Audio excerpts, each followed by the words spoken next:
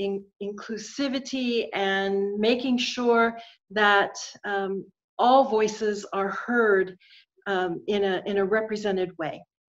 And so uh, theater companies are looking at their programming, they're looking at the types of shows that they might want to do, they're looking at um, other types of programming that may complement live performance because we don't really know exactly when we'll be able to get back into live performance in the way that we've been accustomed to.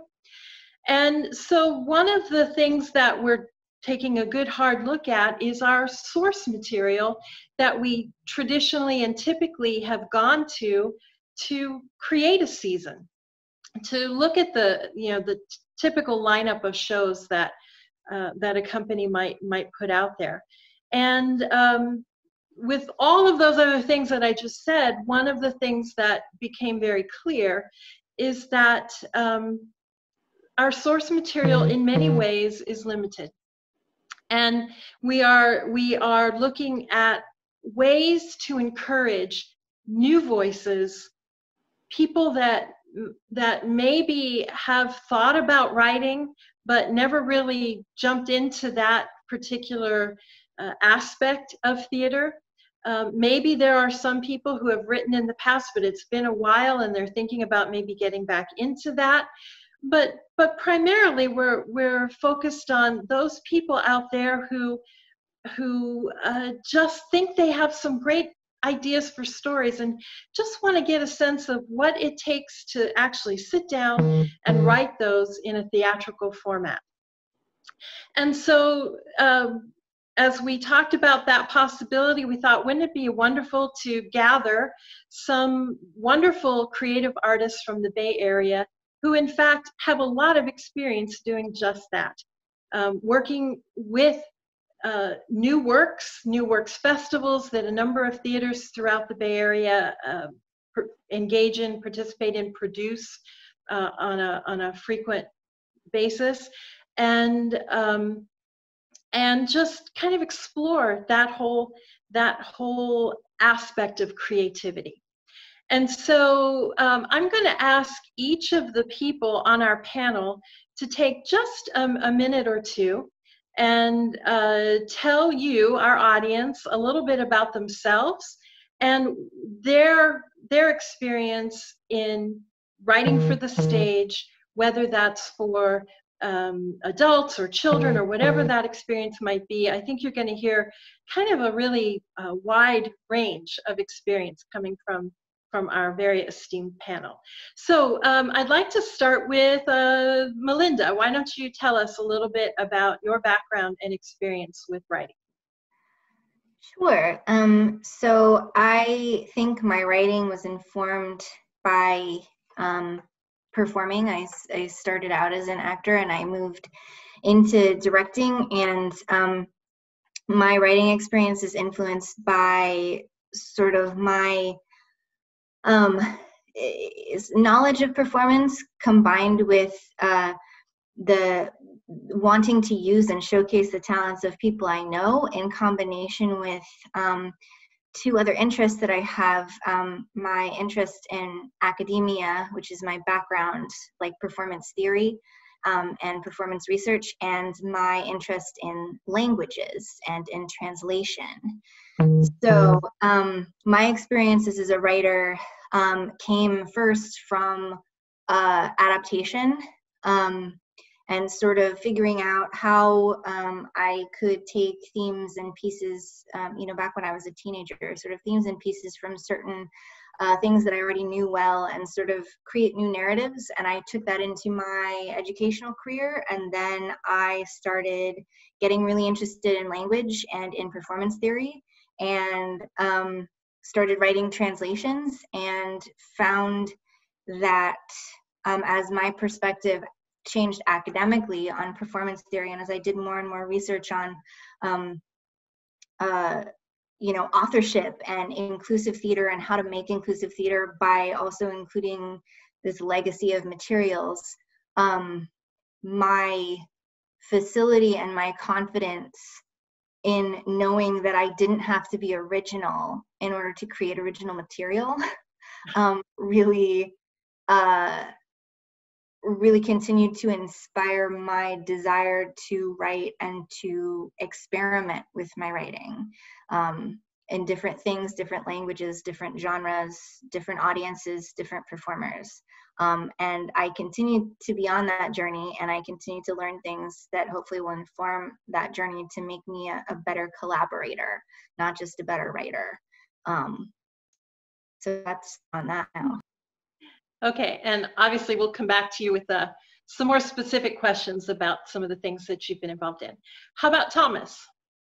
Um, yeah. Um, so I kind of have always written just out of the need for I there was no other option. Um, I remember like when I when the first stuff I was I wrote was actually for um remember I saw the movie Atlantis when I was in like fourth grade and I was super into it for some reason. And I asked my teacher that I was in summer school with, and I was like, can I make a play of this she was like okay cool so me and my friends got together and we like wrote it we got the toys from mcdonald's and we like performed it on like that um those overhead projectors with the little handle with the little shadows. It was super cool. I didn't have a script, so I had to write my own. So then, and then when I started directing plays in my church, I didn't have a script, so I had to write my own. When I wanted to direct stuff in my high school, I didn't like the stuff they were offering, so I wrote my own. So it's always just so with me with my writing, it's always been, it's basically only option I had because I didn't really like the other options that were available to me, or there were no other options available to me. So my writing has always kind of come out of desperation, I guess, for lack of a better word at this moment. And then it just kind of became something I was always into. I remember when I um, went to college, I one of the first classes I signed up for was a playwriting class, and I really learned like the craft and the art of it. And um, sadly, in college, um, when you're in an acting track, they like you to stay in there, so I wasn't able to take lots of those classes. But over the years, um, since I graduated, I've just been able to like write stuff on my own. And the reason why I write now is more so the reason that I want to ensure that there is representation for the types of characters that a lot of artists of color actually don't get to play. So I'm like, well, instead of me complaining about it, I'm just going to change the narrative and I'm just going to write stuff for other people. Because sometimes, especially like me as a black male, there's only like five types of roles that writers that don't have my experience want to want, to like put me in. So I was like, I don't like those roles, so I'm gonna write other ones that just give me a more vast variety, and people like me more vast variety of characters to play. Yeah, great. Thanks, Thomas. And we'll definitely come back to that idea uh, in a little more depth in, in just a few minutes. Um, and uh, Melissa, tell us a little bit about your background. Uh, similar to Melinda and Thomas, actually, um, it started out of need um, and also education based. Um, I taught and directed children's theater for a number of years, and I realized that um, with the grade level I was teaching, first and second grade, there was a real scarcity of children's scripts um, with content that was like engaging and simple without being simplistic and relatable and not just like a thinly veiled history lesson. Um, so I started writing like 10 and 15 minute shorts um, for kids, and I ended up with a pretty big collection of that. Um, while I was teaching and directing children's theater, I was also completing my um, BA in theater at San Jose State. And uh, they started doing student produced um, 48 hour play festivals. Uh, a local actor, Brian Martin, started them. And so I was in the first and second um, 48 hour play festivals as a writer and an actor um, for those. So over the years, um, I've continued with acting. Um, I'm a hair and makeup designer, um, and I occasionally write and direct. Um, I have not written a full length play yet. Um, I've got a hefty collection of shorts, um, but it's like Thomas. Sometimes you just you look at what's available and you're like, there's, it's not what I'm looking for. It's not enough. it's not the right kind of material, and so you're like, I need to create what I want to see. Um, and so you write it, and I started writing a lot of adaptations, um, like Melinda did. Um, I started with what I know, which is what a lot of writers do, um, and I was adapting fairy tales, and um, particularly trying to find like culturally specific fairy tales um, or ways to bring other kids into the fairy tales that were being taught in their schools that maybe weren't necessarily from their culture, and finding a way to make them feel like they had a place in those narratives. Okay, and and we're gonna we're gonna circle back to that uh, in a little more depth as well. And then uh, Doug, for anyone who I don't even know if it's possible that anyone doesn't know all about you, but in case there's someone out there that doesn't, give us a little bit about your background. Uh, I'm sure there are, no, no doubt. Um, so yeah, I, uh, I actually started writing. Uh, so I started in theater in high school, actually on the technical side. I was doing a lot of lighting design, set design, and all that. And uh, there had been a tradition in my high school way before my time that people, when they had their senior directing projects, that they would also write the plays, but that hadn't happened in a long time. And so I just thought about bringing it back. And so that was the first time I wrote a play, and I got hooked on it actually at that point. Um, unfortunately, while I was at Carnegie Mellon, I was there when they were quote unquote between playwriting programs for undergrads. Um, so I got to do none of that there except on my own. Um, but I took screenwriting classes and, of course, quickly learned the utter difference between screenwriting and stage writing because it's night and day, more or less. Um, jumping ahead to getting out here, I, uh, you know, over the years, I've done a mix of acting and directing and well writing actually and over the years i've had like i don't know 20 something plays either at festivals or productions or whatever around the country. I've had a couple in New York uh, briefly. Um, but uh, basically, it's just been a back and forth amongst those various disciplines. And the writing, for me, it, it, it, it's, it's hard to say. It's, uh, I'm always interested in getting stories out there that aren't, but are interesting to hear you know and sometimes that's original stuff. Sometimes that's uh, adaptation as, as has been a common theme tonight. Um, and uh, it, it's always to me about giving people levels that they can you know access in in what they're seeing in front of them. If they want to go and just be entertained i want it to be entertaining. If somebody's sitting there and they want more than entertainment they want to actually think you know then i'm hoping that there are levels in what i'm writing so that they are served as well that don't alienate the people who just want to be entertained. Um and uh you know it, it's trying to serve multiple audiences at once without compromising them uh, for the sake of each other. Um but uh, yeah, I mean that's a, that's a nutshell, I suppose. All right, thanks. And uh, so for me, I've I have not yet done any writing for the stage. Um, it's something that I really want to explore. I've I've kind of kicked that idea around a lot, uh, particularly over the last several months when we're all looking for um, new ways to to express ourselves since some of the things that we're used to doing have been kind of limited for us. Um, I have, however, been involved with uh, both directing and performing in new works, um, newly created scripts, both the one act type of scripts as well as full length plays. So I directed a full-length play for the Foothill College playwriting class. They had all of their uh, uh, people who were in the class wrote a play, and then they each got to have their play produced uh, at, at, the college. So I directed one of those, and that was interesting because uh, many of the people on, on our panel have talked about this process being a very collaborative one. And so when you're working directly with a playwright as a director, um, you, there's there's a lot of back and forth and uh, collaboration that goes into that. And so I think we're going to talk a little bit uh, in more depth about that as well. Uh, and then I've directed for the uh, Tabard had, I don't know if they're still doing it, but for a number of years they did 10 in 10 which was essentially 10 short 10 minute plays. Um, and of course, uh, through Silicon Valley Shakespeare, I know that um, a similar concept is, Doug, what you guys are doing there with the 48 hour festival that Melissa talked a little bit about too. And I think all of our panel has been involved in the 48 hour festival at one at one time or another, some of you pretty extensively. So um, just a general question for for everybody. What's it like to actually write something and then sit back and watch it being performed on stage? Um, hearing hearing the words that you created seeing the characters that you invented and and watching that uh, come to life on stage in front of you.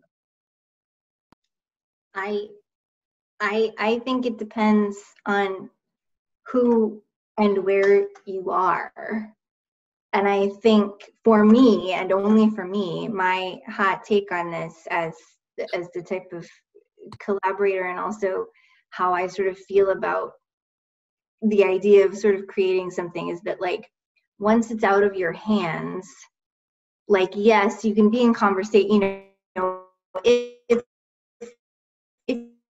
your piece being some opinion or somebody might have, you know, notes for you in process. But once that process is over, like it's a whole other entity. And I, I feel like both functionally and emotionally at that point i just feel so sort of detached that anything that i notice becomes very you know technical and and you know critical but not emotionally critical just like any other thing. And i know that that's not everybody's process to be able to sort of div- divorce yourself emotionally but that's how i cope with the process of collaboration. And for me that's an essential part of the collaborative process is that once it's out it's out. And it's never going to be what you created ever again and that's the way it should be yeah to piggyback on that i feel great relief actually um, because like my hard work is done. Um, if like melinda said if it's a collaborative process um, then there might be questions for clarification um, or like small refinements that you make for clarification or to suit whatever the production needs are. Like if you ended up casting somebody um, of a different gender than what you wrote and you can flip the gender then you change the pronouns. Um, but once i hand it over it's and especially with theater being like um, a uh, an impermanent art form in a way right? You know that this production um, is going to be different from any subsequent production and that's okay. And so when you release that baby like out into the wild you kind of have to trust um, that that that little dolphin's going to swim on its own and you kind of let it go. You did your job as a parent. Um yeah, yeah just to double piggyback i agree with everything they're saying. It um i think for me it's always hard because to what what they both just said so eloquently once you once you hand it over it's no longer yours. So um people are going to do with it what they want. They're going to think about it what what they want. And that's an exciting thing but that's also a really scary thing because you lose all control in that moment. And you just have to sit back and just watch. So it's going to be what it's going to be but you just have to trust that what you did is is works and it's good because a lot of the times when I've had to sit back as just a writer, I'm like, oh my God, I hate this so much. Why did I write this? Why did no one stop me? Like, oh my God, I should have changed page six. And then you're just like, nope, it is what it is. So there's just like a there's like a nerves to it, but there's also this release. It's a it's a, it's a mixture of things. It's it's a whole melting pot of emotions and feelings. But when it's all done and when it's all said and done, I think it's just relief and just excitement and wanting to move on to the next process. But but it's yeah, it's like letting go of a baby, and sometimes you don't want to let that baby go, and you gotta you gotta give your baby up to someone else eventually. So. I'm going to disagree with everybody. No, I'm kidding. I'm kidding. I'm kidding. No, yeah, I, uh, I, I align with a lot of that. To me, the, the thing is, it's also a question of when you're seeing it, though. You know, if you're going and seeing a performance, you know, uh, that's one thing. If you're going and seeing a rehearsal of it while it's in progress, that's something different. If you're actually involved in the workshopping, if it's earlier in the, I mean, it's always different. I mean, if you're in the workshopping process, then you're there very much trying to do what, what's been described and and trying to you know find things to fix, find things to improve. You know. Um, generally, I prefer to be as little involved in the actual production as possible because to me, ultimately, as we've heard, you know, once once the thing's down on paper or on screen these days, I suppose, uh, whatever people get off the page is going to be what the play is going to be when it's out there because you're not going to be involved in a production in Wyoming or in Nebraska or wherever it is, you know. So you want to know that people are picking up from the page what you want it to be. So you have to be able to let go to that extent. Um, to me, it's always fascinating to go and watch if, if I get to go see a rehearsal or, you know, to watch opening night or whatever, because I'm always fascinated to see what people got off the page relative to what I was hoping they would get off the page you know and sometimes that leads to okay well that play got done there and i'm going to go rewrite it before it gets done anywhere else because of what i saw you know um and sometimes not you know um so uh, yeah, it, it, depends on you know where it is in the process. But to me, it's always educational, regardless of when it is, because it informs what I'll do next, whether it's working more on that thing or uh, or on the next play that I write. You know, it's like even when I direct a show, I tend to go to most of the performances and watch from the back because I'm studying the not studying, but I mean I'm observing what works on different nights and how do the actors evolve things and what do they discover the third week of the run. To me, it's the same thing as a writer. You know, I'm just I'm curious. What did the audience react to? What did they not? What did the director get from it? What did the actor get from it? You know, it's uh, it's it's very educational to me. All right. Well, and to kind of build on on um, this part of the of the um, conversation, I would I would assume that we have a number of people in our audience who may never have done this type of writing before and are thinking about trying it. And for some of them, there may be some amount of you know hesitation or even fear maybe that's a strong word but maybe there are some people who are thinking wow writing is such a personal thing and I, i'm i'm not sure i want to i want i'm not sure i will be able to put it out there for others to perhaps sit in judgment of or to do something with that that is different than what i had intended. And you know some of you kind of talked around that concept a little bit in in what we just uh, discussed but maybe if you could speak to that idea of like how can somebody gain the confidence that they need as a first time writer to put that personal creation that they have out there for the world to see and hear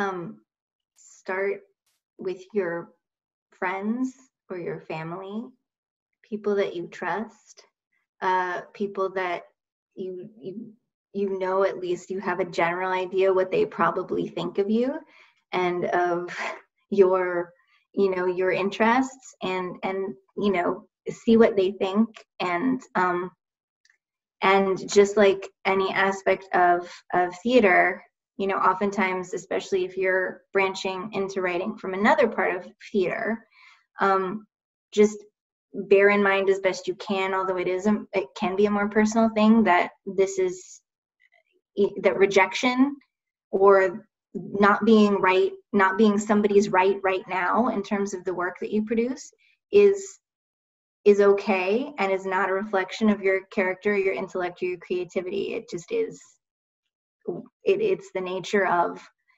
producing work and the nature of you know um, eh, art being subjective and that that's okay. And i would urge you not to let that discourage you from trying again and finding other audiences and other avenues to express yourself. Um, i like what melinda said about that uh, you might not be somebody's right right now um, because it, it, it I feel like going into any art, there needs to be, um, you have to go into it with um, a sense of intentional vulnerability, um, knowing that the work you put out may not be the right fit um, for some people, and it may totally be the right fit for other people. And that is okay. Um, that is the nature of art, and that is part of, I think, what makes it an invitation to connect with other people's humanity. Uh, what resonates with somebody now, um, and it may not resonate with them later, or it might resonate with them differently.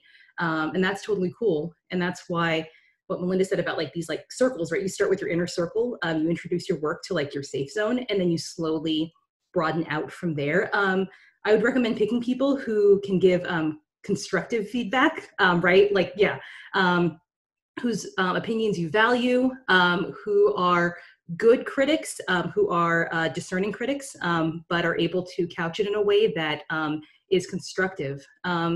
And like these 48 hour play festivals that we've mentioned, I feel like in some ways can actually be um, helpful because it gets your work out in front of an audience, but it's a relatively small group. Um, and they're going in there knowing that this was a very quick turnaround. Um, so they're more forgiving in some ways um, than like something that maybe was, you know, you had like a year to write something and it was fully produced.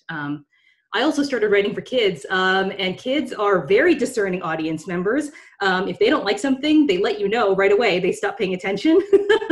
um, so that, like, if you get an opportunity to write for kids, even if it's just like your own nieces, nephews, brothers, sisters, um, that can also help to um, help you kind of like form your voice in a safe, I guess, hopefully safe, if it's within your family, safe space.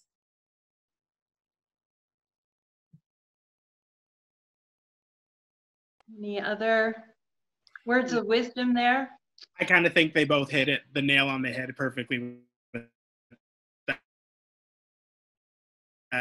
Yeah, no, I, I'll just give you one anecdote actually that that that that that, that uh, tacks on to one of the points. Uh, yeah, the safe zone is everything. I mean, a lot of you might do theater, you know, and so get together some of your actor friends, you know, whoever and wherever you're going to feel safe is the thing. Um, one thing that I always like to do, actually, that somehow works against my brain well, is um, I will take the script that I've been working on for a while, and then I will like change the font, or I'll print it out, and I'm just somehow that makes me looking at it fresh like I never have before, and it gives me a new, somewhat detached perspective. It, it, it's a simple mind trick, but it actually always works on me uh, for some reason. Um, so you know, even before anybody else sees it. Um, so you never know. Um, but the anecdote is so the, uh, the this ties into I think something Melinda was saying um, that. Uh, the first time I had a play done out here after I moved to California, uh, there's this theater in Santa Cruz that still does a, a bunch of new works, and uh, I had sent them three scripts uh, uh this is a short play festival like we're talking about and i sent them a comedy and i sent them a drama.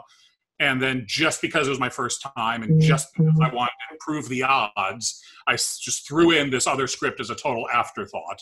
And i had to listen to the message on my answering machine. Yes i still had an answering machine. It was 1998 uh, at, at three times because i was just convinced they chose the wrong one because they chose the afterthought.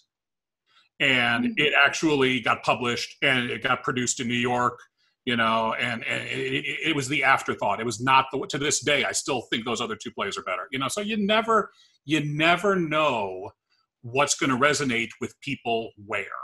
You never know who's going to like your style, uh, who's going to like your topicality. Um, so be you, and those stars will align when they align. Okay. All right. Well, um, yeah, and and uh, I would encourage anybody in our audience who uh, may be thinking about this, but may have some of that hesitation. If uh, when we get to the Q and A part of the conversation, don't don't be afraid to bring that up. And um, you're probably not alone in the way that you're thinking about that or feeling about it right now, and um, get some good advice from from these experts. Um, so I think one of the things that a lot of people maybe, you know, feel, oh, a little bit of anxiety about is that blank page, just getting started, looking um, page. Well, that that shows you, you know, where I am, Doug, because I used to write on a typewriter. So you had a piece of paper that was a blank piece of paper in front of you, and of course now it's a blank screen for most. Um, although I still prefer to write longhand and then uh, and then retype. But anyway, that concept of of starting, it, I'm sure it would be the same for a painter with a blank canvas when you just have that that open space of nothing in front of you. How do you get started? Where where does the inspiration come from for for you guys? Where where do you get those ideas for those stories that ultimately will fill that page or fill that screen? What I like to do is I kind of like to pull from what I know because like uh, some someone much smarter than me said write what you know. So I try to stick to that. So I try to stick to like what things do I know about? What things do I find interesting and because the likelihood is that someone else also probably thinks that thing might be interesting too and starting there and a lot of the times if you're just like i don't know what to write but i want to write just start literally just start typing and then just seeing what happens and things will develop and what i like to do is i like to talk to people and i like to collaborate with um like i've got like a mind trust of people who like we like bounce ideas off each other. So I like to go to them and be like, hey, I've got this. I want to write about something. I've got this little idea. And they're like, oh, we'll try this. And I'm like, okay, that works. So I like to bounce ideas off of people. And then I also like to really take a step back and think about what do I know? And that's where I like to write, write from. Sort of similarly, um, I, uh, I, it's hard to, I was going to be like starting out, but like, I, I, I think this is still easier um, for me because I and and I think I recommend if you're not sure what your voice is, um, this is something that worked for me and still continues to work for me. Um, if you're thinking about mm-hmm. finding your mm-hmm. voice and about finding a place to start from, find something that already exists that resonates with you emotionally, and as an exercise, rewrite it in your voice and observe what it is that you change and what it is that you're drawn to and what it is that you focus on. And for me, um, in particular, this was when I started translating and I started making a big investment in my own education in colloquial adaptation or colloquial translation. So, not trying to do a word for word and instead thinking, what is the impression that I'm left with? And I know that that that is reflective of my experience because that was where my interest grew and that was where I found the confidence through that kind of learning process to like find my own words. It was a really kind of circumspect route, but it doesn't have to be a translation. Um, because when you find your patterns and you find what you want to change and what you don't in something that you already know, you will discover things about yourself that might enable you to then be emboldened and say, you know, I wrote something. What can I do with what I wrote? How can I now turn that into something that is all me or that is, you know, more original than what I started with because of the things that I've created from this template. So start with a template. Uh, related to what Melinda said, that reminded me, I have a friend who's a songwriter and she uh, was trying to figure out how to approach covers because that was something that she wanted to learn more about herself. And she realized that it was actually, um, she was like, how can I make it better? Um, how can I put my spin on it? Um, how can I make it in the image that I want to see? Um, and I think that, right, you can take, it's the uh, other side of the same coin from what Melinda's um, suggesting. Um, so in addition to what Thomas and Melinda said. Um, for me, a fear of failure is actually a great motivator. Um, a lot of my writing was done because I had to, right? Because it was either going to be performed by um, an after school um, play group of kids, um, or I had literally one night to write it and I had to deliver the script at noon the next day. Um, so i don't know if anyone else like needs to work within those boundaries i was also that kid who when i had to write an essay i did better work if i wrote it the night before rather than taking the like three weeks that i got from the teacher um, so if if you find that you work better under pressure maybe set some sort of deadline um, for yourself to like commit to your safe zone and say i will get a first draft to you. We're going to get together and we're going to read it by x date and you will have something to read. Um, that's what i need to do for myself. That that pressure of a of a deadline helps you? Yeah. Because i'm really results driven too right? And i don't like letting people down. So if i've committed something to someone else then i'm more likely to follow through to it because now they're relying on me yeah i um i yeah i think all of that makes a lot of sense i i'll tell you as far as the the ideas themselves go also because i also saw somebody was asking about that um they'll come from absolutely anywhere uh, mm-hmm. one play that I wrote that's been done a bunch was inspired by uh, a particular melodic construction we were learning in AP music class uh, in high school uh, while we were doing Baroque music. And sometime during college, I was like, you know, that particular melodic construction seems a lot like relationships to me because it basically goes in one direction and then goes backwards. So I wrote a play about that you know um, one time i was seeing a play and this guy walks on stage and he's wearing his robe and these sock suspenders and an undershirt and he's looking around completely unaware of his surroundings and somehow that image gave me the idea to write this film noir satire but it actually was it turned out after i about two minutes you discovered it was a play about alzheimer's actually originally but it gave me that just that image of that guy gave me that uh, that that idea it can come from anywhere. Um, And here's the thing you don't have to start at the beginning. You know, uh, sometimes it can be a snippet. Sometimes you can just have this scene in mind, write it down, figure out what comes before it, what comes after it, outline around it. But the, the, the seed can be anything. Let it come from anywhere. Um, you don't have to figure everything out about these people. You can let them, you can get to know them as they get to know each other. Uh, most of the time when I write a play, I start out with, you know, it's man one, woman one, man two, whatever. They don't have names. Uh, just because they're this person, this person, I don't have to force myself into that early on. You know, it's uh, it's uh, or even it's just one, two, three in Roman numerals. You know, who um, don't discover there, but don't let those kinds of things hold you back. You can go in and write pages 25 through 30 if a scene pops in your head and then go figure out what the what came before it and then where they go after it. Um, the biggest thing is don't feel like it's this monumental thing. Just let the idea come, and the rest of it you work on later. Yeah. So, so I want to dig into some of this a little deeper with a, a few specific questions. so my first one is for Thomas.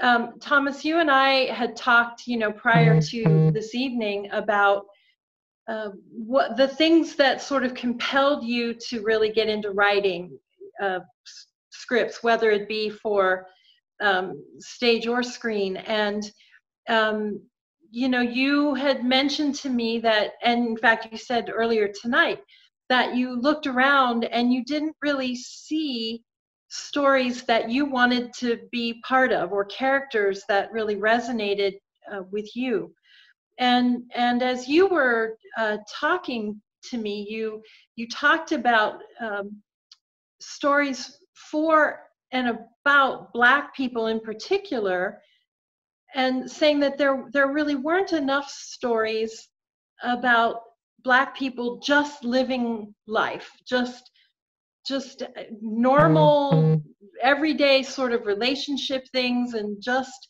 just having uh, normal interactions the way that that people do. You, the characters that you had come across prior to that were more stereotypical or or um, archetypal in a in a way that was not interesting to you.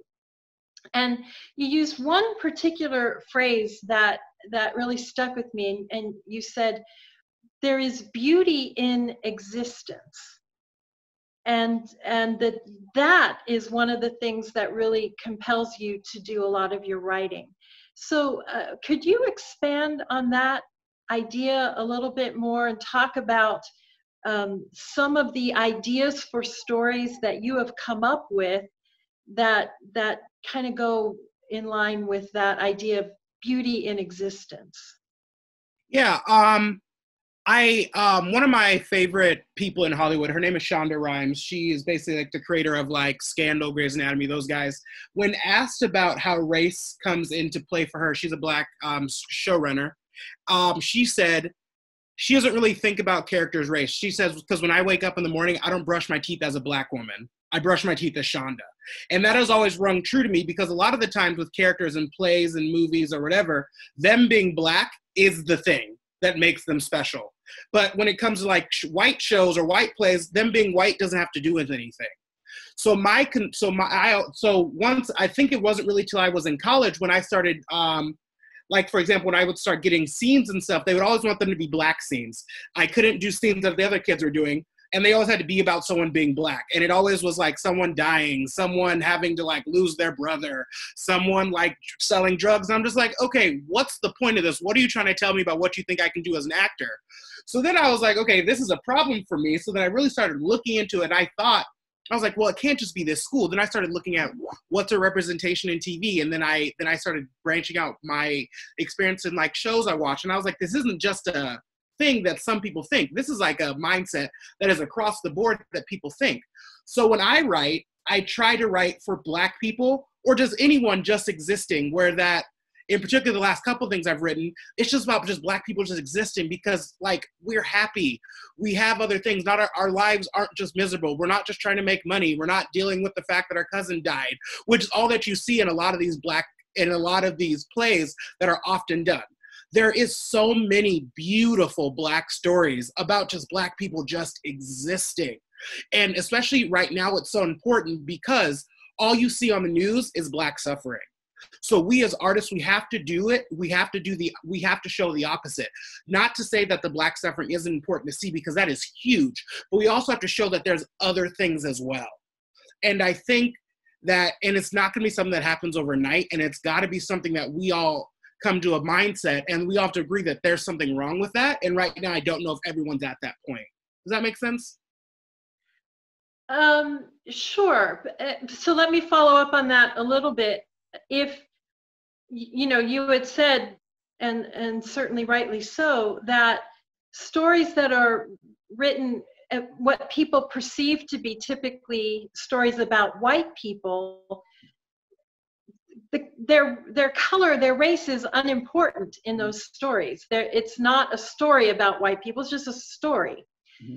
and so how how can a writer ensure that what they write is able to be uh, portrayed without having to focus on the color of the person who's who's portraying that character does that make sense? Yeah no. So i think a lot of the times as a writer i wonder though if as a writer do you always go in saying that this person has to be a blonde five foot two white woman?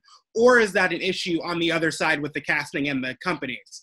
Because if i as a writer a lot of the times there my stuff is race specific but there's other times where it's like i don't care who does it. It just has to be a person so what happens i think is and this is going to step out of the writing realm a little bit it's all about who gets cast and what's that portrayed as does that make sense because i think a lot of the times I don't necessarily think when people write, they write with a specific race in mind, unless that's what you're doing. Does that make sense? So I think yeah. that's a, that's even bigger conversation that we have to have, and I think we need a whole nother panel discussion about that. right, but I do see a lot of heads nodding. A little bit. Yeah, Melinda, what what do you think about all that? Well, I mean, I I, I what I said was I think we can talk about it a little bit because ultimately representation is everybody's responsibility, particularly those who benefit from the type of representation that we primarily have now, which is colorblind casting at best mm-hmm. in the majority of theaters. Mm-hmm. And colorblind casting at best, I mean, all I have to say about this is you know i think a lot of us have have talked about the fear of rejection as writers.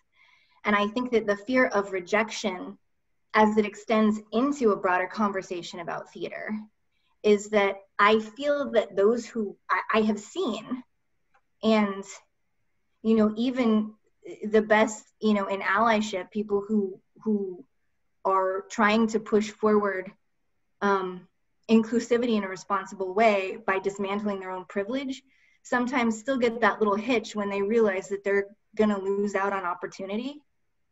Let it go.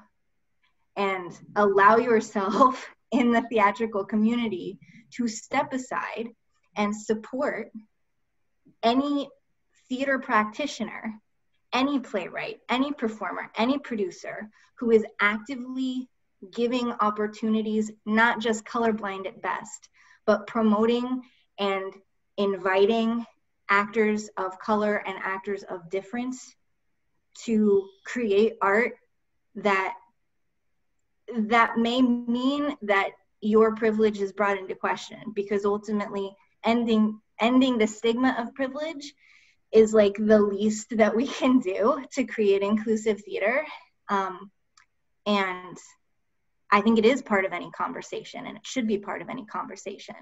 Um, not only a conversation from those who, who would benefit extraordinarily from that at a minimum, but those who need to step aside and acknowledge that to be an ally means to willingly uh, set aside your fear of rejection and promote opportunities for other people.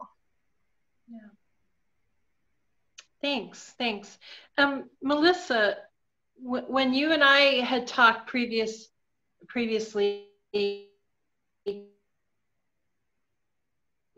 bit about it tonight, the focus that you have had uh, in a lot of your writing that was for children and both writing for and directing youth theater. And um, you, you talked about some very interesting approaches that you use to kind of address the need for cultural diversity in in and among youth groups whether it's in a school or outside of a school. So can you can you talk a little bit about some of the ways that you have found success in you know kind of making theater accessible and engaging for kids um, who are coming from something other than that Anglo-Western heritage. You know, as you as you either write stories, adapting stories, or um, get them to participate in that creative process as well, to, to make sure that um, that it is an inclusive experience. Yeah, um, and uh, I'll preface this by saying that for me, inclusivity, like Melinda touched on, is it goes beyond just um, like colorhood, but also differing abilities, um, right? Uh, disabilities. Um, so it it stretches beyond, um, and I think that something that helps anybody um, is is the work relatable to them in some way, um, and particularly for kids who maybe if this is their first or one of their first times um, experiencing theater as a theater maker. Um, it really helps if it's something they're familiar with. And so when I was teaching, I tried adapting fairy tales, of course, um, but I would always try to sneak in or stick in um, something that was maybe a culturally specific um, fairy tale or folk tale that uh, they might know from, say, home, like maybe their grandparents were telling them these stories, but weren't necessarily taught in schools. Like here, you know, we're taught the Snow White stories and Goldilocks and Three Little Bears. And how is Goldilocks always portrayed? It's in her name. She's got blonde hair, right? Um, so she's most likely a little white girl. Um, but how can we turn that on its head? Um, take like a fractured fairy tale, uh, uh, you know, take to it in some way, like twist it, um, and make it relevant to kids um, who maybe have not historically seen themselves reflected in those stories. Um, or take a story like if you go into a community um, that has a high population um, from a certain culture um, can you find out what are some common folk tales um, or folklores or even just like some archetypes um, common to that culture and then um, adapt a story based on that. That helps kids because if they're familiar with the story, it gets them engaged and interested. It kind of shortcuts the process and they can get excited about it because it's something that they can see themselves truly reflected in. And my hope is that they grow to learn that a lot of those boundaries are imposed by people, which means that people themselves can break down those boundaries. Can you, just for the benefit of our audience, can you think of an example of, of one of those children's stories that either you adapted or created based on um, you know something that was relatable to to uh, an underrepresented group or uh, you know a differently abled group or something like that yeah, um, when I was a kid, uh, I found a book of Japanese folk tales, and I'm not Japanese, but I, you know, it was still Asian, right? And my options as a kid for finding in the library like stories of Asian folk tales was fairly limited. Um, and so there was one in there about um, a villager who uh, he he basically it was essentially he had a clay pot that would keep um, refilling itself. Um, he, if he like left fish in there overnight it would be overflowing with fish the next morning. If he left a gold coin in there it would be overflowing um, with money overnight. And so i adapted um, that story um, for um, a community that had a lot of asians in it. I just thought of another story that I've now. For, oh, oh, uh, the um, there's another one, um, the the Five Chinese Brothers, which is a picture book um, that is about five brothers with each with a different superpower. Um, basically, like one can hold as drink in as much water um, as like he wants, and he can hold it even if it's the ocean. Um, one is super strong, things like that. And so, the, because those all started in books, that was really easy to help the kids like adapt that because um, they started as picture books. And so even if the kids, maybe if um, English was their second language or their reading level wasn't up to it, there were still pictures to help them understand the story that was happening. And then those pictures also translated to um, blocking on stage when we got to putting it up on its feet. Okay, thanks. Um, so uh, Melinda, I had a, a question for you. Uh, in the conversation that you and I had prior to tonight, one of the really interesting things that that um, you talked a lot about was the idea of limitations leading to new and creative solutions.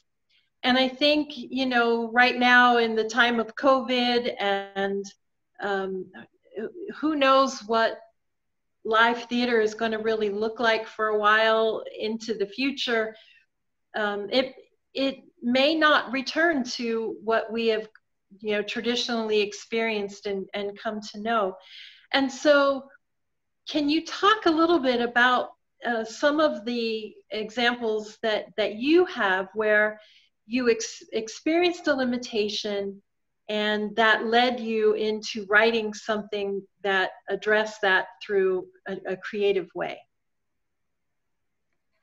Uh, sure. So I think, like a lot of people on this panel, and, and possibly a lot of people who you know are are practitioners or writers, um, you know, in, in the audience right now. Um, I think um, a lot of us has sort of written under duress, and a lot of us have worked, you know, in theater for a lot of small companies, or you know, sort of made made our our lot of dollars out of a lot of you know two bit pieces. But I think um, when I started when I started writing, I think I just generally think small anyway, um, and that can mean a small cast.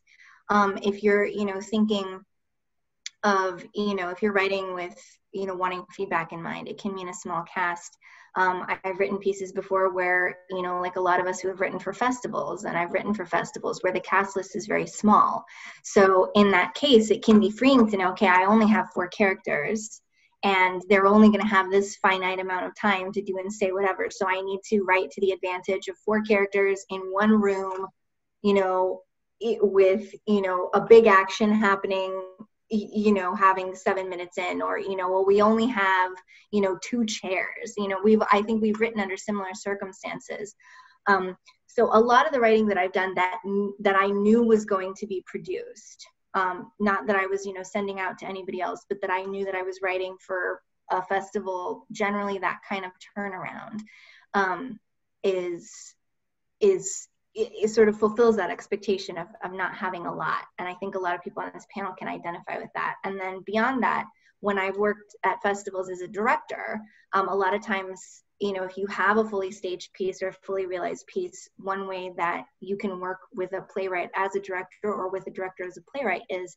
being really selective about how you show or demonstrate something even if you have a big cast or you have a show that is sort of fully blocked or where you want the audience to imagine something but you don't have the means to display all of it. You know really being deliberate and careful as a playwright who is submitting work to be workshopped or read for the first time in a way that shows the audience the most sort of important important elements that you want to show so that they can give feedback and so the director and the actors can give meaningful feedback to those moments without having to say to yourself oh well if i don't have all this if i can't have this fully produced piece my play won't be good um, it won't be enough because um, it will. And so finding sort of the highlights and the bits that you can show without showing a lot. And then um, the, the last quick thing I'll say is um, educationally as well, I, I went to, to grad school and the program that I was in dealt specifically with um, what's called original performance style, um, which is an early modern early modern model. So we exclusively had to do, there were 11 of us. We had to produce a full season of shows um, with uh, $10,000 for the season, and uh, we were restricted to an early modern style. So that meant no tech, and that meant um, open space theater. And, you know, that came pretty far at the end of the work that I had already been doing only in the past couple of years, but that only reinforced for me that even something that is fully realized um, can be innovated, however large or small your resources provide and thinking resources first, material second, just remember that your piece and your vision are the materials that you need in order to put the vision forward. And anything else is just gravy and you may find that you prefer it without you know? It just depends. That's can i tie on to that just really quickly? Yeah. the yeah. idea of you are enough right? Your work is enough. The other stuff like she said is gravy um, but you with your work are enough. And um, again, I, I, mentioned that I had done some directing and also performing in some New Works festivals in the past. And often what I came away with was that some of the playwrights were making things overly complex. There were they were creating situations that you know were just very very uh, complicated and lots of to me extraneous stuff going on in in some of those plays so you know kind of a general question for the panel. When you write how do are you being conscious of simplicity and minimalism being able to say and convey what what you're trying to get across in as few words as possible or in you know in a in a setting that doesn't detract from the relationships that you're trying to create among your characters. Yes. Awesome. Yeah i always feel like the best plays can be done in a barn or on a broadway stage. So at the end of the day, it has to be about a good play. If you name some of your best plays, some of the plays that we all love, I think that it comes down to do characters connect and is a story something that you can connect with? And if you write that, you're butter. So that's basically my opinion of it. it doesn't it shouldn't really matter. Like Melinda said, everything else is gravy. The script itself has got to be able to work in wherever, whatever format you can put it in. Yeah, and just to tack on to that, I mean, I don't want to keep harping on this one example, but it's like uh, that first play that I had done down in Santa Cruz in '99, I think was performed. Um, it was a totally minimalist piece, and they did it that way. Um, it was done in New York three years later, and they desimplified it. They added stuff to it. They didn't trust the simplicity of it. And without saying it too loud, I thought the Santa Cruz production was actually better. So, you know, simplicity, yay. Well, and you know, right now, many theater companies, including SBMT, is doing a lot of exploration of this theater in the Zoom world. And so you're very limited in what you can what you can have on that screen at any one time and you know some people uh, get creative with some costuming and some and some backgrounds and stuff like that but but you're really focused on the words.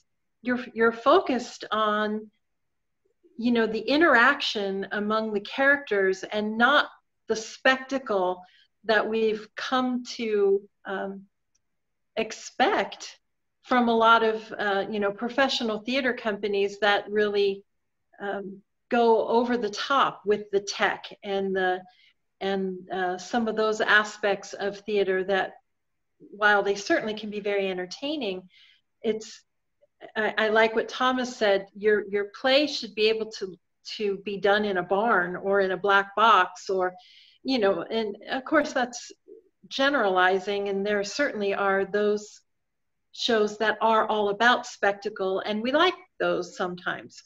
But for our new writers, the the people who are just getting started with this process, um, I think we I, I think there is value in encouraging people to think in a in a simpler way and and not try to overly complicate the the settings and the situations and the number of characters and uh, you know an envisioned tech situation that may not be possible in an online virtual kind of theater or Perhaps some theaters will move more to open space, an outdoor kind of experience where, again, tech may be limited.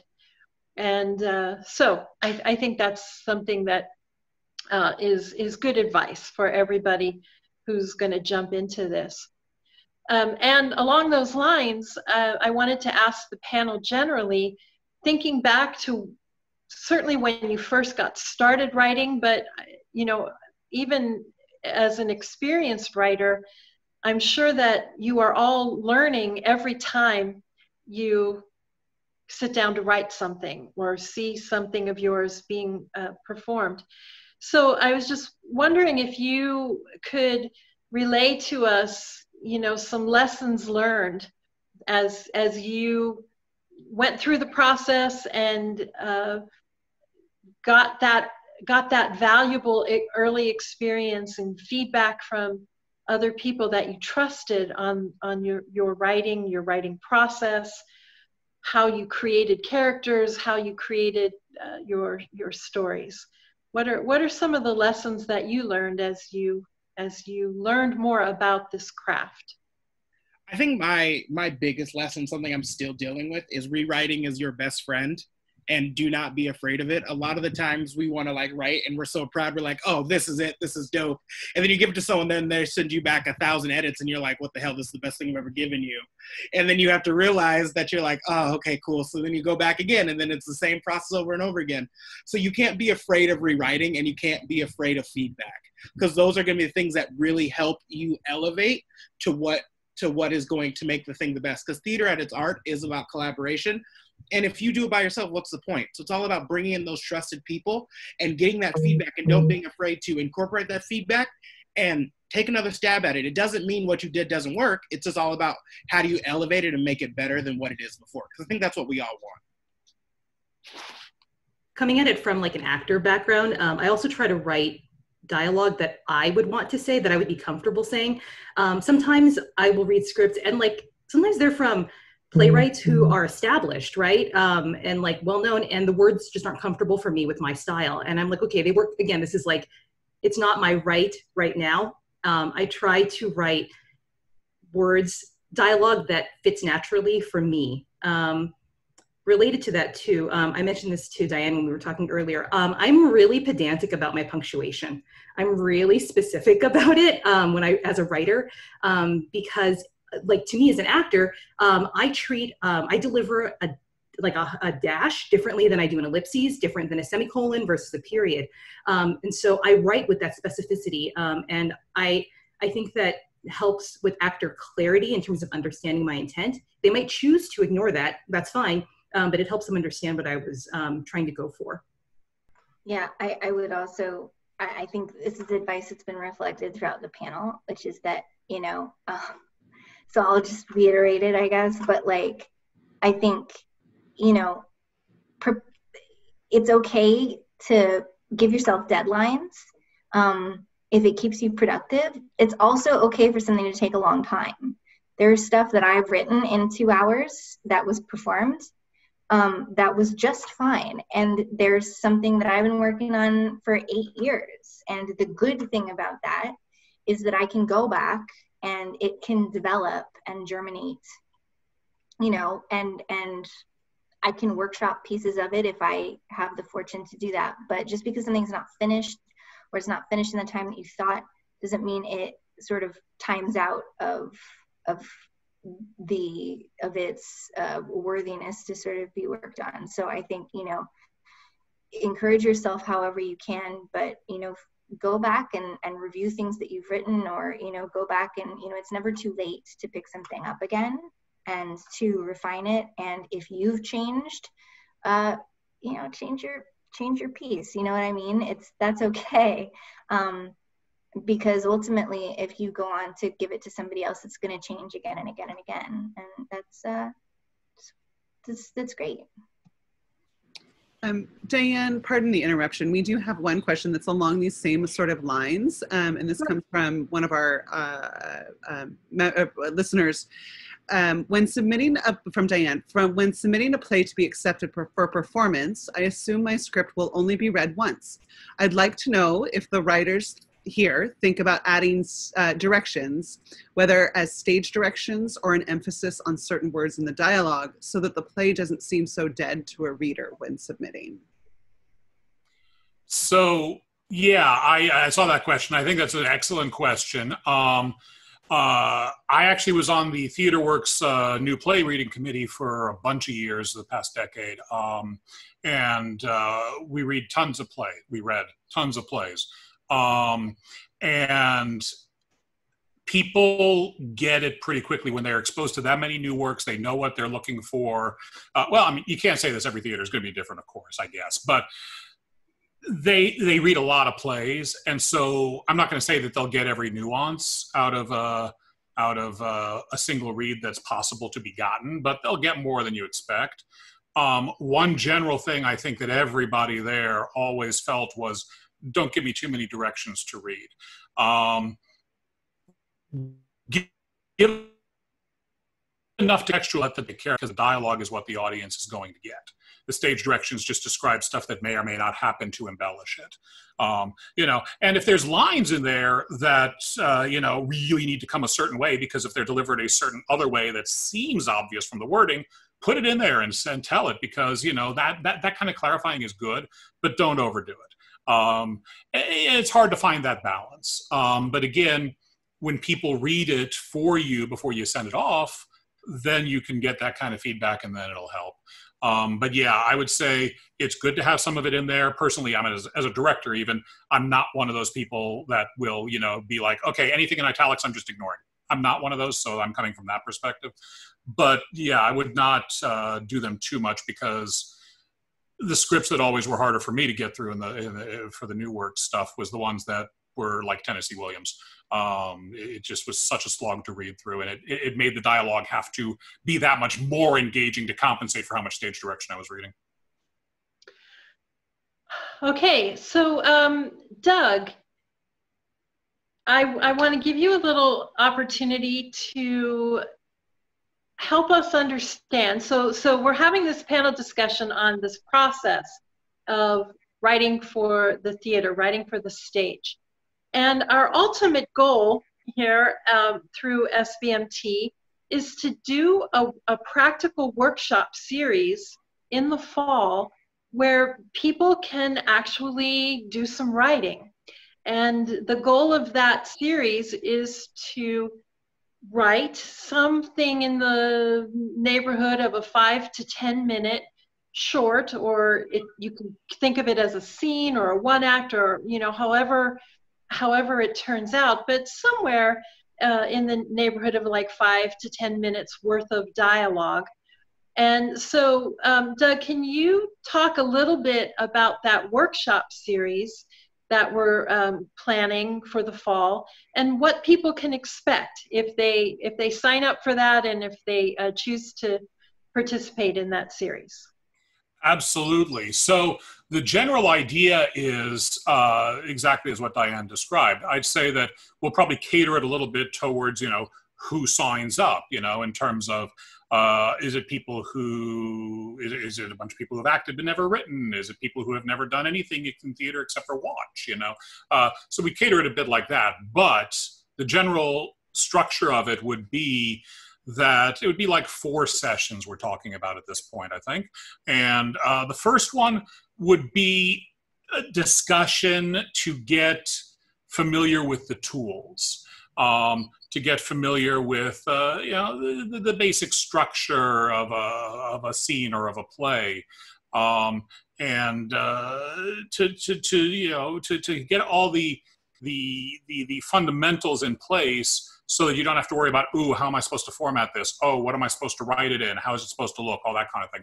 Just getting the tools established um, so that you know basically what you're working in to be able to bring your ideas. Then it's also going to encourage ways to find a few ideas to write. Okay. Um, then the idea is to come back and share what the ideas are and hone it down to one that you'll write and then go back and do some writing bring it in we have people read it out loud much like uh, i've been in a few playwright groups over the years uh, uh, and actually offhand the Pear uh, theater uh, uh, writers guild is very much like this where basically you bring in 10 pages and other people in the room read it out loud and then everybody offers their constructive uh, comments to help, and you go back and rewrite. So we would do a couple of iterations of that. Um, and uh, ultimately have something where you'll have, uh, as Thomas says, you'll have done some rewriting already, um, and and hopefully recognize the invaluable nature of it. Um, and that's after having come away with a fundamental understanding of the basics, the structure, you know, beginning, middle, end, uh, character arc, thinking about, you know, where were they before the scene started? Where are they going after the scene started? You know, that kind of a thing. Um, and uh, how to come up with ideas how to find things that matter to you and seeing it come out on paper and uh, it, it, gives you it gives you a foot in the door it gives it gets your toes wet um, and hopefully it would lead to being able to do more things um, the one thing i will say is that it's a piece probably for most people i'm guessing an early piece in the evolutionary process of writing insofar as i well i can't speak for anybody else on the panel but i would suspect that uh, everybody would say that uh, how they approach writing has evolved a whole lot from how they started. So, what you would do in these sessions isn't exactly what you would be doing on play number 15. You know, uh, sometimes I go back and look at some of the early stuff that I did, and I'm like, what was I thinking? You know, or how did I even approach that? And I'm like, oh, wow, I, yeah, that's changed. So, it's, it's an evolutionary step to help give people the means to be able to bring your stuff to the world in a nutshell. All right. So um, we have a little bit of time for some audience questions. So Sarah, if you've been uh, tracking that for us, any any questions for the panel from our viewers? Yes, I certainly do. We have a couple. Um, and some of them have been touched upon already. Uh, but Christina asked, has anybody written a musical or play with music? And if so, how is that different for you than writing straight plays? Has anybody else? Okay. Um, I have not much that's gotten out there, but a few short form things here and there. Um, but uh, fundamentally, it's uh, it, different people will talk about different approaches for this kind of thing. But fundamentally, I follow the approach of I, I approach the book first. Um, in, in my case, I've tended to write the book and the songs. Um, that's not always the case. Uh, and look at it, a lot of the musicals you've seen, that's not the case. Um, there'll be two or three different people there. Um, but uh, I tend to write the book and then look at scenes for opportunities for songs. Uh, songs fundamentally help to advance the story. Uh, and that's probably one of the most important things. Um, there's a lot of times where people will write, somebody will write the book for the show, and then the, uh, the the composer, the lyricist will come in, and they will look for opportunities for song in the scenes that are already written. Sometimes that happens just at the outline phase, actually, before all the dialogue's even there, and be like, okay, this is an important thing where we need a song here that's going on for this. And there are some fundamental things like, you know, the I Want song uh, for example, that always is there early in a show. Like if you're talking Fiddler on the Roof, it's If I Were a Rich Man. It's what he wants. You know, go look at almost any musical, you're going to find that song around Act One, Scene Two. Um, and uh, but it's a different creature insofar as you're finding musical opportunities and they can affect the rhythm of the show, the pacing of the show. Um, you got to make sure there aren't too many of them. Uh, and honestly, at times I have found that having the music there helps with the story arc because every now and then I've been like, wait a minute, there's no reprise of anything in the second act that happened in the first act. And reprises are usually a wonderful touch point for either approaching closure of a major story arc or or, or, or you know throwing it on its ear you know uh, having a major turning point um, and so sometimes when you're going through that with the music and you realize you don't have any of those, it's because your story doesn't either. So your story itself needs some work. Um, so it makes it a bit of a different creature. It's it's an additional tool. It's the music is an additional tool, um, and it brings its own challenges too. Thank you. Um, Doll had a question. Um, once you have your work written, how do you get it out there? Well, um, there are a lot of places in the Bay Area um, if you just want, if you're okay with people hearing you, your work that aren't necessarily uh, friends or family, if you're past that point, Um, there are uh, there are places in the Bay Area like Dragon Productions, for example, is one that is able doing a ton of online content, um, an absolute ton. But they also have uh, slots throughout the week. They're sort of a community organization. Um, they have slots and events throughout their week, um, even you know when you know the the brick and mortar theater sort of back in biz where they sort of invite the community in to do showcases. So occasionally there is a wait, but if you are sort of in a, in a transitional period between wanting to sort of submit to the festival, kind of want this sort of in between, you can um, submit the work to places uh, like that. But if you're sort of past that point, um, there are a lot of um, email groups and Facebook groups um, for playwrights uh, specific to the Bay Area. I'm of course blinking, but I if I find resources, I'll I'll put them in the chat. Um, but there are just like um, sort of festival um, and playwriting sort of submission chains that you can join that will let you know when there are playwriting opportunities or play submission opportunities uh, all over the United States or internationally. And I know a lot of Bay Area based playwrights who have grown uh, uh, in prolificity enormously over the past few years because they have really stuck with that kind of submission process. Um, so it sort of enables you to submit you know works that you have of all different kinds or all different kinds of festivals that are looking for submissions and different types of works. So it you know, if you're willing to sort of invest the time and sort of set yourself up for the fact that that is going to mean like potentially an overwhelming amount of rejection, it does allow you to be flexible in, in what, how, what, and how you submit without necessarily having to, you know, feel like you need to be asked or be invited. Um, so again, I know I'm being vague. It's not my intention. I'm just feeling the pressure of having answers. But there are uh, Facebook groups and there are online collectives um, that accept submissions on a really, really frequent basis.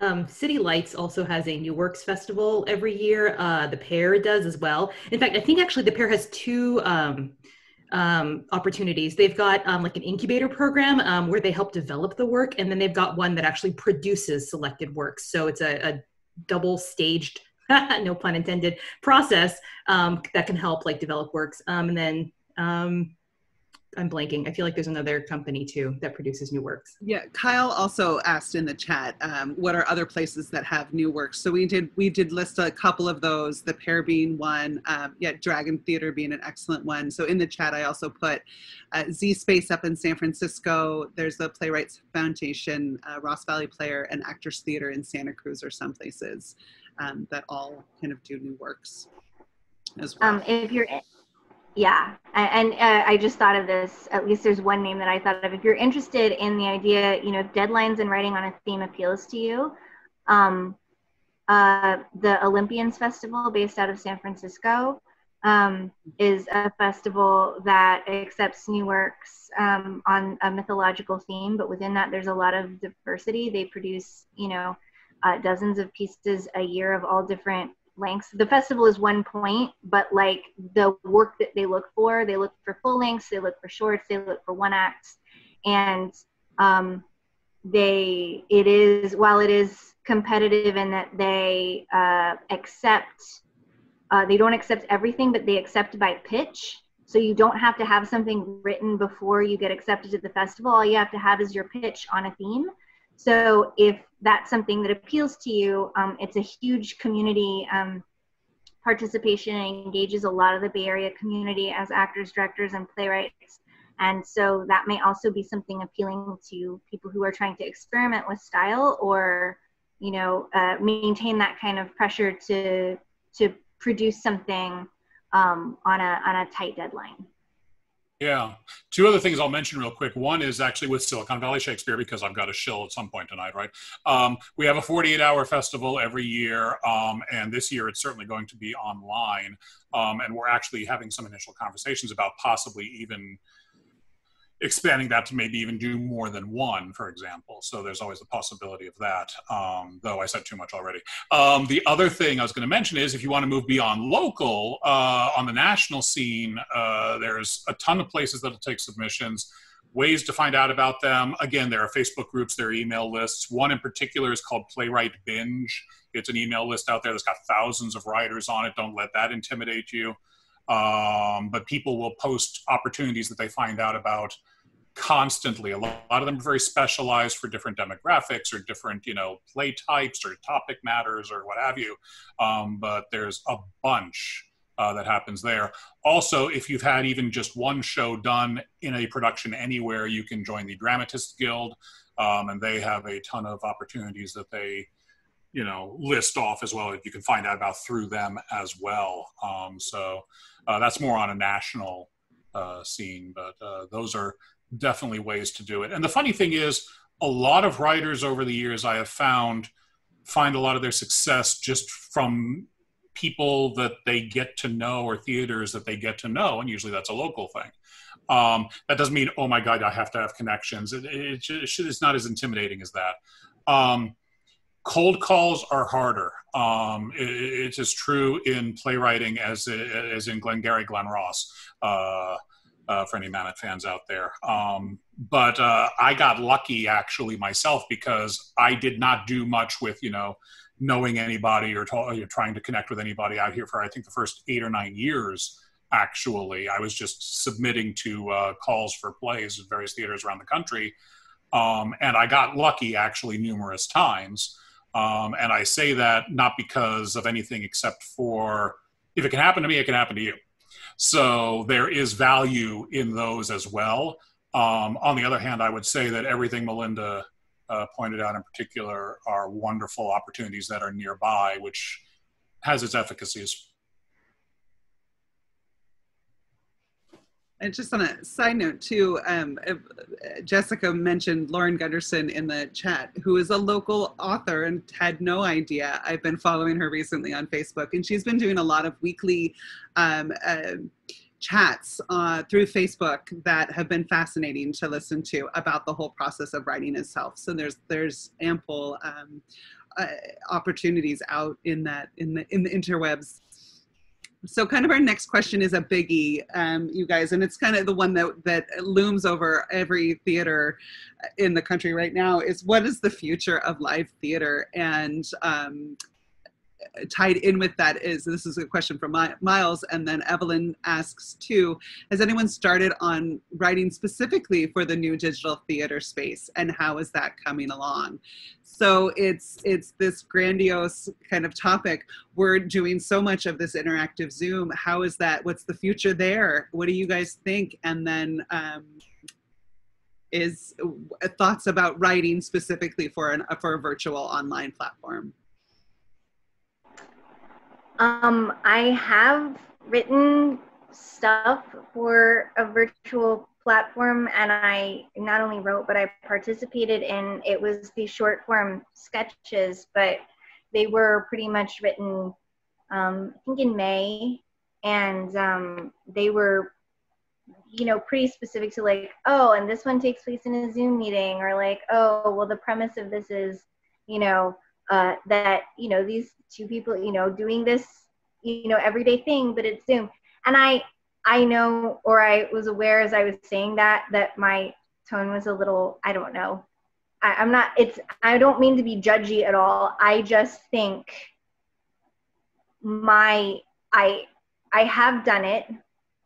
And what i hope for myself and for others who are going to spend the next year not only trying to sort of innovate what already exists for this medium, but are writing in ways that showcase this medium in new and creative ways.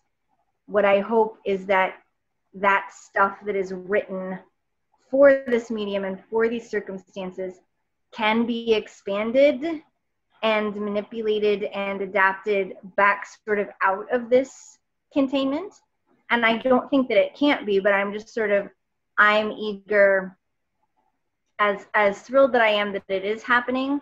I find myself in the moment more eager to see how that's going to be sort of accordioned back out again, then then I am sort of invested in, you know, uh, finding those ways to contain. Because I think treating everything like a, a, a reading um, or treating everything, you know, in this contained way, um, I think it is interesting. And I think it's interesting that we continue to make theater this way.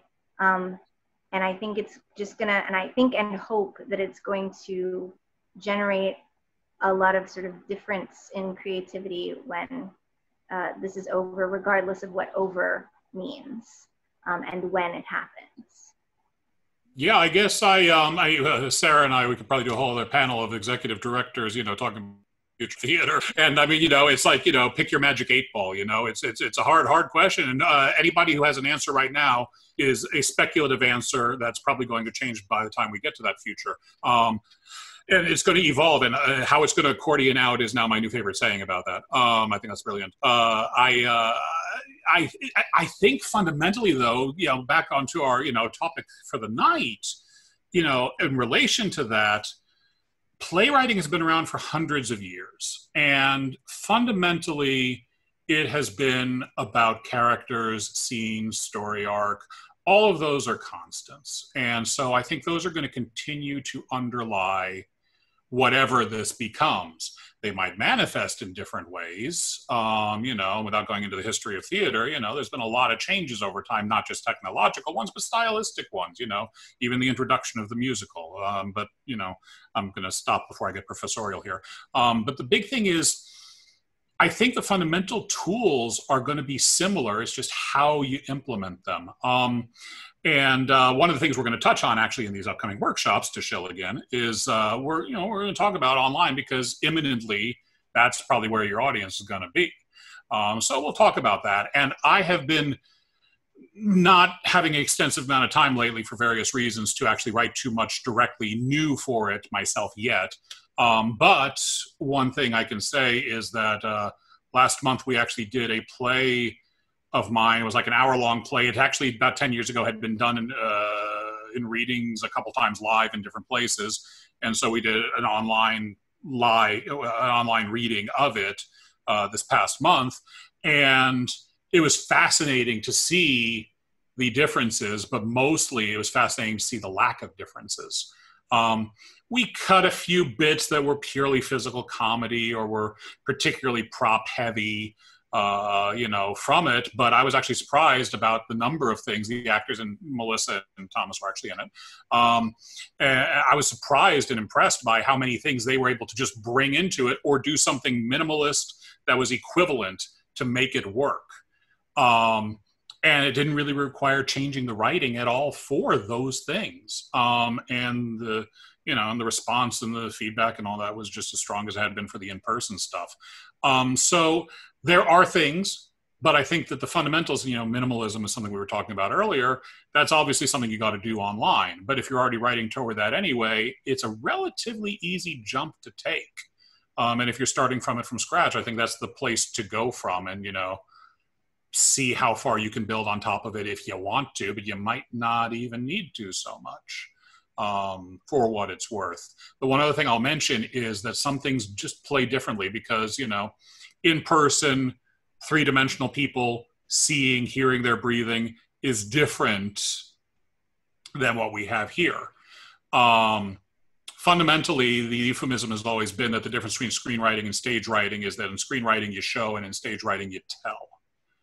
Um, and while, frankly, a lot of technology for the stage has made it more possible to show, like with spectacle, um, still fundamentally that's true. And I think that that is actually going to be an interesting area that's going to evolve while we're doing this online stuff because we're not shifting the writing away to showing because we're not going to sit here and do Zoom plays that are going to be the equivalent of something coming out of Hollywood. It's going to be its own separate thing um, that just happens to have a technological similarity to it. But I think, again, it's going to rely on character, it's going to rely on story development, structure, uh, even with all that. Okay, that was a little professorial, sorry. So um, I, I, we've kind of run out of time at this point. Sarah, have we hit um, most of the questions that have come in? sorry, most of the questions have been answered. I don't think there was anything too major. Okay, great. So um, I'd like to take this opportunity to once again thank our panel. I know Thomas had to leave. He had another commitment that uh, uh, he needed to run off to, but I want to uh, put my thanks out to him as well as Melissa and Melinda and uh, of course Doug who will be carrying this forward with us as we as we look to uh, to uh, launch the the workshop series. And so, and of course, we want to thank our audience for joining us tonight. Thank you all for your interest in this topic, and I, we hope to see uh, many of you in the in the workshop series that we're going to do in the fall. Uh, most likely, it will start around mid-October, and uh, we'll get some details. Uh, in fact, Sarah is just posting now a link to uh, a little bit more information on that workshop series.